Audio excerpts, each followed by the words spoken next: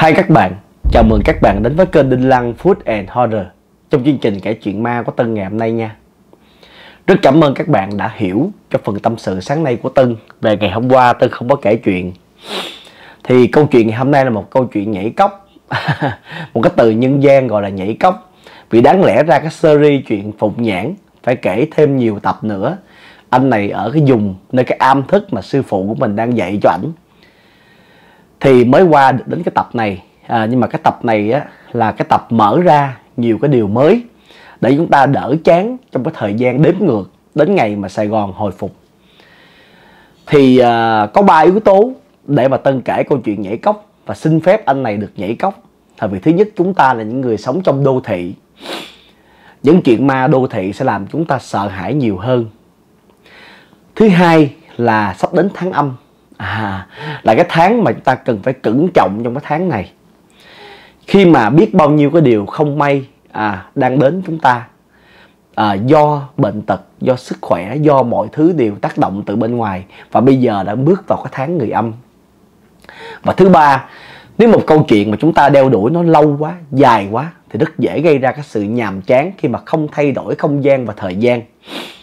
Cho nên tân xin phép anh này cho tân thay đổi thì câu chuyện bắt đầu từ cái giai đoạn mà anh đã được gọi là học rất là giỏi về nghề thầy pháp nhưng mà anh dần chấp nhận cái số phận của mình. Và sau này tôi sẽ giải thích cho các bạn lý do tại sao anh này và thầy đều không cho à, không dám cho anh này đi vào thành phố để trừ ma diệt bạo. Thì ở cái câu chuyện này à, nó chưa có giải thích về những phần trước đó mình đang nhảy cốc. Thì vào thời điểm này anh đã bắt đầu chấp nhận cái số phận của mình và anh đang cố gắng theo học một cách gọi là cái tâm của cái người thầy pháp gọi là trong sạch nhất không nghĩ đến tạp niệm. Coi như chấp nhận con mình đang ở một cái cõi vô hình nhưng mà vẫn hy vọng hy vọng là con mình vẫn còn tồn tại. Thì sau đó các bạn à, anh này mới bắt đầu hòa nhập với anh em. Khi biết số phận của họ ở đây đều giống mình. Có những cái hoàn cảnh còn lâm ly bi đát hơn mình và ngay cả người sư phụ làm nghề đến bây giờ bị tàn tật thì anh bắt đầu đem ra chia sẻ những cái hiểu biết của mình về người Việt cho họ biết và những cái món ăn ngon của người Việt. Các bạn biết cái văn hóa của con người đã thể hiện qua đồ ăn, thức uống. Và người Việt mình có những cái món ăn mà để cho phục vụ đám đông. Ví dụ như thịt kho hộp vịt, canh khổ qua, và đặc biệt là bánh chưng, bánh dày, bánh tét là những thứ mà ảnh có thể chia sẻ cho những người anh em huynh đệ ở đây thì cái ngày đó là ngày mùng 5 tháng 5 của năm đó thì sư phụ mới đãi một cái bữa tiệc để cho anh em cùng nhau chiêu đãi và đem những cái phần lợi phẩm của cái am thức này chia đều cho người dân ở dưới núi xung quanh. Thì anh là cái người bếp chính. À anh làm tổng cộng là khoảng chừng 100 cái chén à, chè trôi nước. Thì à, cái am này không có nhỏ đâu bạn. À 100 huynh đệ sống đây là chuyện bình thường à, giống như một cái chùa lớn vậy đó. Nhưng mà mình dùng làm cái am.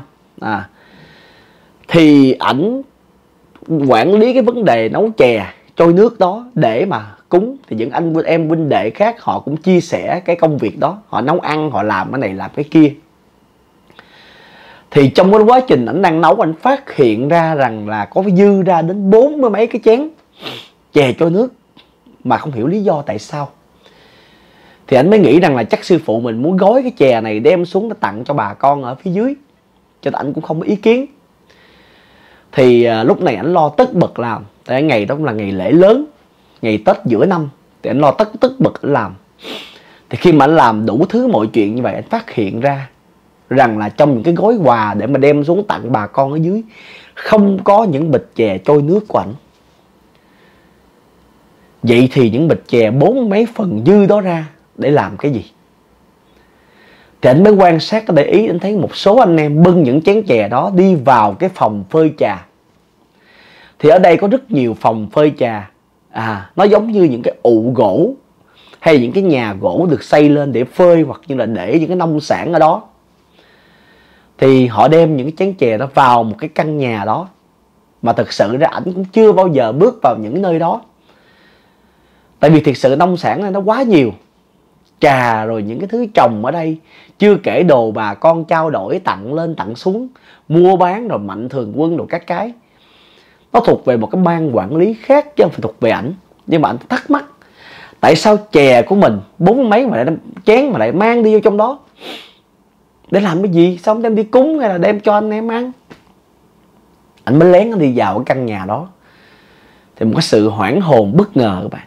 Ở trong đó không phải là cái nơi để gọi là lương khô thực phẩm, mà căn nhà đó để rất nhiều những bài dị mà nhìn sơ trên đó, đọc phải những người đó chết từ tuổi từ 18 đến 35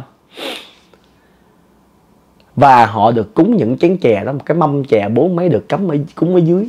Ở trên đó có rất nhiều bài vị, hơn cả bốn mấy chén chè lận. Nhưng mà người ta chỉ cúng bốn mấy chén đó thôi. Thì lúc này ảnh mới tá quả ảnh đi ra anh hỏi sư phụ và gây một cái trận rất lớn cho anh em lúc đó. Thì sư phụ mới nói rằng là đó là những người thầy pháp mà có trách nhiệm đi xuống và đi ra khỏi lãnh thổ quê hương. À ra khỏi cái lãnh thổ đang sống hoặc là ra khỏi cái vùng đất này để mà đi thực hiện nhiệm vụ của thầy pháp. Họ đóng vai trò là cái người buôn bán lương thực thực phẩm, buôn bán chè ở khắp nơi để mà làm chuyện pháp sự họ nghe ngóng tình hình tạo quan hệ để tìm những cái pháp bảo và chứng gọi là chứng yểm ma quỷ mà nó vô tình gọi là thức thoát ra bên ngoài. Đa số những cái pháp bảo đó là nằm ở Đài Loan các bạn. À, nằm ở Đài Loan. Đó là những pháp bảo được gọi là rất là khủng khiếp. Đó mà được gọi là nằm trong diện bảo tàng Đài Loan.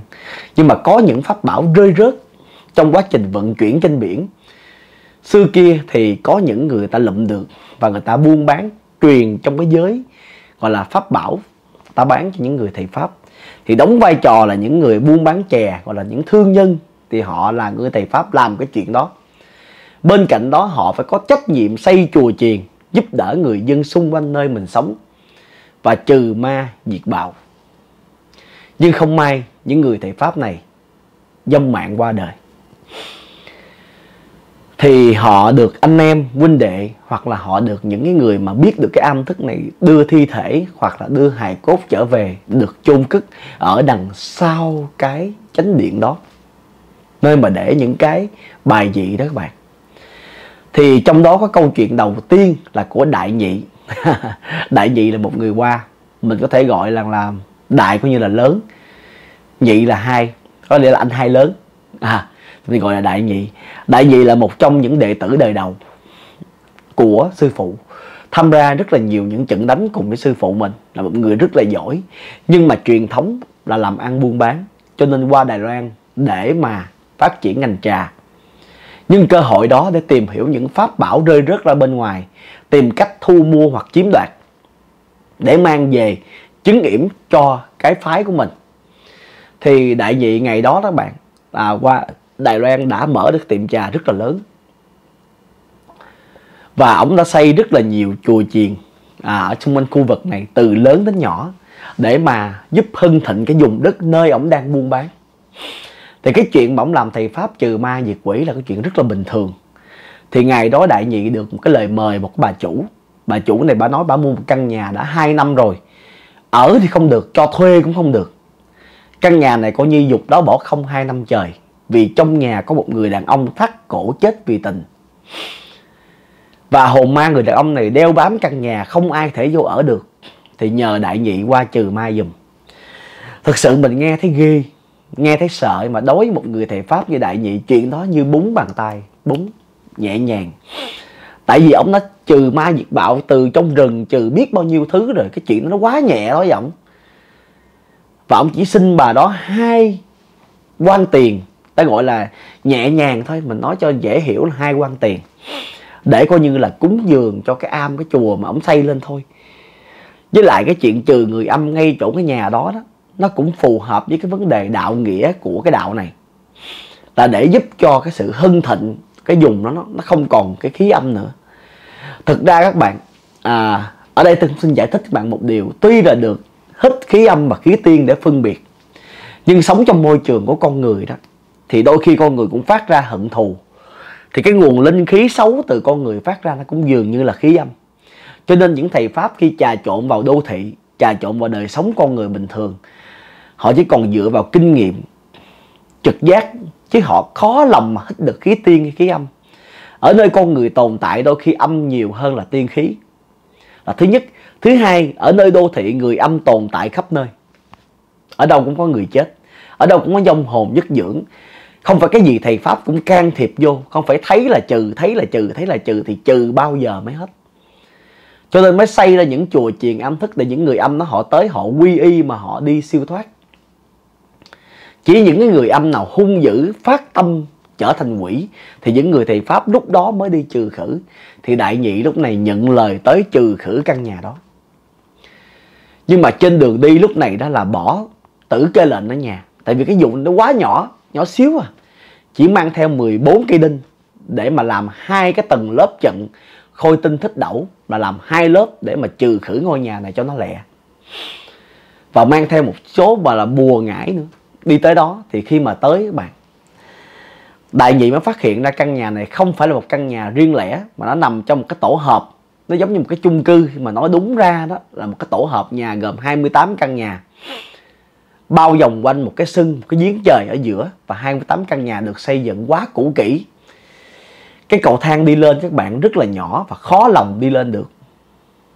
Mà nó rất là ẩm mốc và nó khai nó hôi cái mùi nước tiểu. Nước tiểu mèo nước tiểu chó rồi đó là những cái thứ mà người ta bỏ đi. Thì đại nhị mới nghĩ trong lòng á đừng có nói rằng là không có ma ngự trị. Bây giờ cái nhà nó có sạch sẽ không ai vô thuê mướn ở hết. Nó thúi nó ghê vậy mà làm sao mà mà mà mà, mà ở? Nhưng mà cái nghiệp người tệ pháp là phải trừ gian nhiệt bạo, thì cứ vô trừ đi đã. Thì khi mà vô ổng vừa tới căn nhà đó các bạn, ổng phong ứng ngay trước cửa trước. Sau đó ổng sử dụng hai tầng lớp khôi tinh thích đẩu để phong ứng căn nhà đó, vì ổng nhìn thấy cái người đàn ông đó thiệt. Người đàn ông thành quỷ thắt cổ chết trong nhà đó. Ổng vừa phong ứng xong xuôi hết tất cả mọi thứ rồi. Ổng trừ khử xong rồi thì mới rút những cái đinh đó ra thì nói nào ngay, các bạn dễ hiểu là khôi tinh thích đẩu chỉ có thể sử dụng một lần. Ông sử dụng một lần 14 cây, có nghĩa là hai tầng khôi tinh thích đẩu để nhanh chóng trừ khử. Cho nên khôi tinh thích đẩu lúc đó không còn tác dụng. Ông vừa quay ra và ông thấy hai bên dãy hành lang có cái tiếng len keng. Và bắt đầu có khí âm tồn tại. Ông mới phát hiện ra một cái chuyện vô cùng không bình thường. Có nghĩa là cái dãy nhà đó tất cả đều là quỷ, chứ không phải chỉ có một căn nhà đó và sau đó ông còn phát hiện ra còn ghê gớm hơn như vậy nữa. Cái người đàn ông trong nhà thắt cổ chết, không phải vì tình, mà làm cái cuộc gọi là tử, gọi là tự sát tập thể. 28 căn hộ đều thắt cổ tự tử. Lúc đó không hiểu lý do tại sao. 28 hồn ma, nó nằm ở trong khu đô thị, chứ không phải là chỉ một nhà nhà đó thôi. Cho nên lúc này là ông biết rằng ông đã bị hớ rồi bạn. Cho nên ông nhanh chóng ông lấy máu mình để thấm lên 14 cây đinh và ổng quăng nó ra giữa sân ở phía dưới, để mà nhanh chóng mở đường máu xuống chứng yểm 28 linh hồn này. Thì thật sự ra khôi tinh thích đẩu đối với công lực của đại nhị đó, thì dư sức làm được chuyện đó. Vì thấm máu thầy pháp chánh khí nữa, cho nên cái chuyện đó được phát huy công lực vô cùng lớn.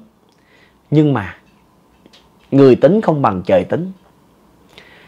Cái tầng phong ấn đầu tiên là sử dụng 7 cây là ở trên, thì thành công nhưng mà tầng 7 cây phía dưới thì ghim thẳng xuống đất. Nhưng vô tình nơi đó là nơi ẩm mốc và nước nó thấm qua một gan tay. Khôi tinh thích đẩu chỉ có thể phong ấn trên đồ khô, không phong ấn trên đồ nước. Cho nên nó không có tác dụng. Máu thầy pháp tan trong nước mà bị mất tác dụng. Cho nên là đại nhị bị tử nạn ở trong đó. Trước khi tử nạn đại nhị dùng hết công lực của mình để mà làm cái pháp cuối cùng là để chứng nghiệm 28 hồn ma này yếu đi. Tại vì vẫn còn một cái tầng khôi tinh thích đẩu nó hoạt động. Thì à, một phần nào đó những hồn ma có người tiêu tan nhưng có người tồn tại được. Nhưng phải đến 5 ngày sau người ta mới phát hiện xác của đại nhị quỳ gói chết ở ngay giữa cái sảnh. Thì à, lúc này các bạn những huynh đệ trong cái bang phái mà của anh này đó cũng thấy bất bình thường. Và cho nên họ mới tới. Thì cái quãng đường họ tới chỗ đại nhị cũng khá xa. Cho nên khi tới thì đại nhị cũng đã chết rồi. Lúc này là cơ quan điều tra người ta cũng đã vô cuộc rồi các bạn. Thì cái nhiệm vụ cuối cùng những anh em này đó là phải thả cái lòng cho tử kê lệnh ra. Để tử kê lệnh đi tìm cái phần nào đó của đại nhị mang về. Thì lúc này là tử kê lệnh nó đi các bạn. Nó đi tới chỗ này. Và nó gáy rất là nhiều ở nơi đây nó gáy rất nhiều và nó tử chiến cái nơi này luôn cũng giống như chủ của nó. Nó tử chiến ở trong cái chỗ này và nó đã chết. Con tử kia lệnh nó cũng chết. Người còn chủ còn chủ còn thì tớ còn. Tớ mất thì chủ mất tớ mất thôi. Thì cả hai người à, cả đại nhị và tử kê lệnh đều chết ở nơi này. Và sau khi làm tất cả thủ tục thì những người thầy pháp đã đưa được cái cho cốt của đại nhị về lại âm thức để cho sư phụ để lên đó an táng. Đây là một cái sự cố của người thầy pháp xuất phát từ cái việc ỷ y của đại nhị, rằng là mình có thể trừ khử. Tại vì một hồn ma là chuyện bình thường, thậm chí 28 hồn ma là chuyện bình thường. Nhưng lúc này trời tính không bằng, cười tính không bằng trời tính.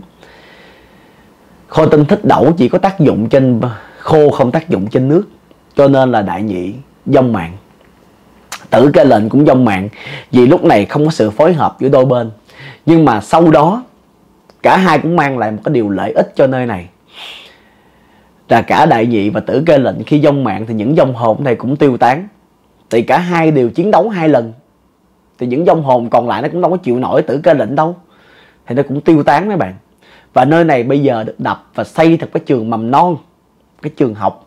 Và vẫn còn phát triển và đang phát triển rất là là tốt do những người anh em thầy pháp báo về cho sư phụ biết, coi như rằng là sự hy sinh của đại nhị và tử kê lệnh không có uổng phí. Thì so với cái cuộc sống của người thầy pháp, bạn nghe qua câu chuyện này đó, nó cũng quá nhiều uẩn khúc. Thực sự ra họ có một nhiệm vụ của riêng mình và họ đóng vai trò là người buôn bán buôn bán sinh lợi tự nuôi cho mình và cũng tạo ra phúc đức bằng cách xây chùa chiền am thức cho người dân vô thờ. Cũng như để những người âm dứt dưỡng mà người ta không phát sinh hận thù đó, người ta vô đó để quy y. Và họ trừ ma diệt bạo, trong quá trình làm việc họ không may mắn. Thì đôi khi tử kê lệnh và thầy pháp qua đời là chuyện bình thường. Khi anh biết câu chuyện này, anh rất là cảm động. Và anh càng cố gắng học giỏi hơn và cẩn thận và cẩn trọng trong mọi cái suy đoán của mình để không hại mình, không hại anh em mà cũng không hại tử kê lệnh của mình. Để giữ được cái mạng mà tìm những cái pháp bảo, mở ra cổng âm dương để cứu con mình. Làm gì cũng phải cẩn thận mấy bạn. Nhiều khi mình giỏi đó, nhưng mình sơ hở là mình sẽ chết. Cuộc sống cũng vậy thôi, làm ăn buôn bán cũng vậy thôi. Nhiều khi bạn là người chuyên nghiệp đó, bạn là người giỏi đó, nhưng mà một lần sơ hở khinh địch thôi, cái hậu quả nó đến nó nghiêm trọng lắm mấy bạn. Thật ra tâm linh và đời sống nó cũng gần giống nhau. Nó cũng dạy cho con người ta sự cẩn trọng và đừng bao giờ khinh suất trong việc làm việc của mình. Thì lúc đó bạn luôn luôn thành công. Qua câu chuyện ngày hôm nay thì à, Tân cố tình kể những câu chuyện ma đô thị à, của những thầy Pháp làm việc như thế nào để chứng nghiệm cho các bạn nghe. À, coi như là một phần nhảy cốc đi, ha. Rồi Tân sẽ lợi dụng cái cơ hội mình quay trở lại cái thời ở âm thức như thế nào để nó hợp lý và các bạn nghe nó hay, ha, các bạn, ha. Thì các bạn thấy sao về câu chuyện ngày hôm nay? Vậy bà nhớ nha, nhớ ứng subscribe, có nghĩa là đăng ký các bạn, ấn nút đăng ký để kênh phát triển. Và nhớ chia sẻ câu chuyện này và cho một cái like.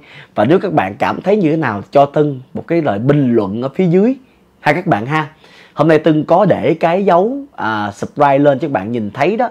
Subscribe là tiếng Anh à, tiếng Việt là đăng ký. Cho cô chú anh chị nào không biết thì khi mình thoát ra khỏi màn hình mình ấn đăng ký để kênh phát triển ha các bạn ha. Bây giờ bye bye hẹn gặp lại các bạn với câu chuyện ma của 5 giờ chiều mai. Bye bye!